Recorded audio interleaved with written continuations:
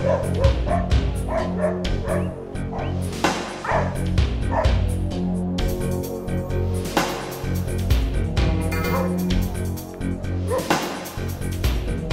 Aqui na rua Alecrim, bairro Coab Floresta, os moradores estão revoltados, pois há mais ou menos três anos a prefeitura realizou um trabalho de drenagem e depois desse trabalho a situação só piorou. Aqui, como a gente pode ver, vários buracos desde então foram surgindo e até hoje ninguém resolveu a situação dos moradores. A gente gostaria de sensibilizar o prefeito para que ele tome as providências necessárias e consertar a rua, porque até então era tudo bacana essa rua. Depois que fizeram os trabalhos de colocação da, da drenagem, nunca mais funcionou.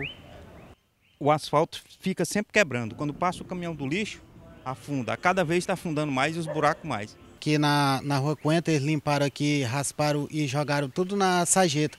Aí chove, como vocês sabem, aí não tem como a água corre aí, ó. Que eles deixaram o, o entulho aí, aí não sei o que eles vão fazer com essa sujeira. Que eles arrumaram aí, deixaram aí, nunca passaram mais aqui para juntar. E para conter os buracos, vocês acabam jogando aí entulho, né, para poder amenizar o, o, tamanho dos buracos. É verdade, a gente pega o resto de construção e joga aí como vocês estão vendo aí para os carros poderem passar, que senão não passa não. Tá difícil. E a prefeitura ele não quer saber de nada disso aí não. Eu queria para ele passar aqui, o prefeito, como na época da política, ele passou de pés aqui pedindo voto. Eu queria para ele passar de novo agora para ele ver como tá a rua aí.